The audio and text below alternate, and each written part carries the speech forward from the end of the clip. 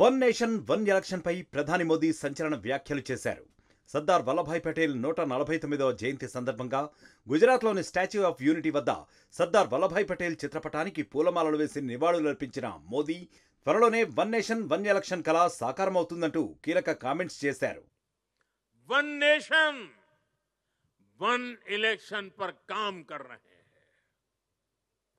जो भारत के लोकतंत्र को मजबूती देगा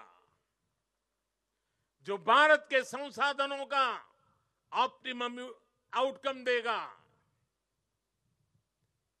और देश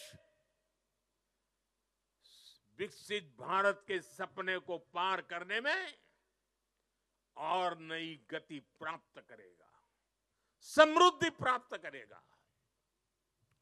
भारत आज one nation, one civil code यानी सेकुलर सिविल कोड की तरफ भी बढ़ रहा है और मैंने लाल किले से इस बात का जिक्र किया था इसके भी मूल में सामाजिक एकता सरदार साहब की बात ही हमारी प्रेरणा है దీపావళి పండుగ భారతదేశాన్ని ప్రపంచ దేశాలతో అనుసంధానం చేయడం ప్రారంభించిందన్నారు ప్రధాని మోదీ అమెరికా అధ్యక్షుడు జో బైడెన్ వైట్ హౌస్లో ఆరు వందల మందికి పైగా ప్రముఖ భారతీయ అమెరికన్లతో దీపావళిని జరుపుకున్నారని వెల్లడించారు.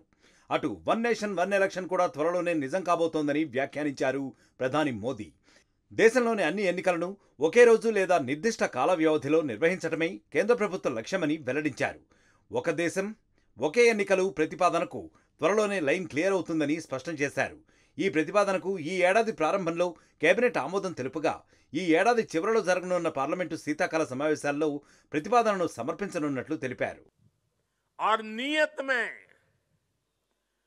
भेदभाव का भाव भी देश की एकता को कमजोर करता रहा है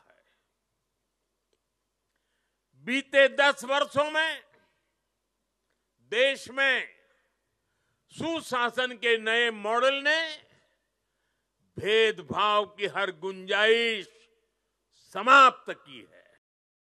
एकता हमा, एकता के, हमारे इन प्रयासों के तहत ही अब हम वन नेशन, वन इलेक्शन पर काम कर रहे हैं, जो भारत के लोकतंत्र को मजबूती देगा। जो भारत के संसाधनों का ऑप्टिमम आउटकम देगा।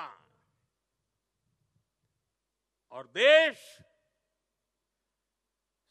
विकसित भारत के सपने को पार करने में और नई गति प्राप्त करेगा, समृद्धि प्राप्त करेगा।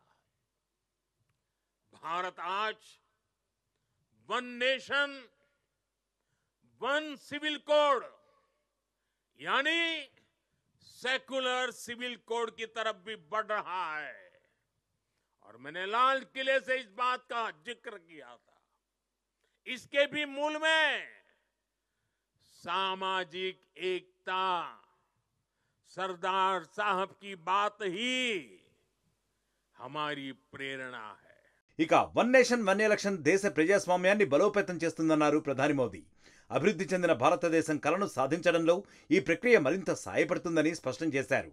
భారతదేశం one nation one civil code secular civil code కలిగిన దేశంగా అవతరించనుందని తెలిపారు. రెండు వేల పంతొమ్మిదిలో ఆర్టికల్ త్రీ సెవెంటీ రద్దు చేసి దానిని శాశ్వతంగా పాతిపెట్టామని గుర్తు చేశారు. అయితే రాజ్యాంగాన్ని గురించి మాట్లాడేవారే ఎక్కువగా దాన్ని అవమానిస్తున్నారంటూ ప్రతిపక్షాలపై మండిపడ్డారు ప్రధాని మోదీ. అసలైన తొలి వెలుగు. ఫాలో వాట్సాప్ అట్ తొలి వెలుగు అఫీషియల్.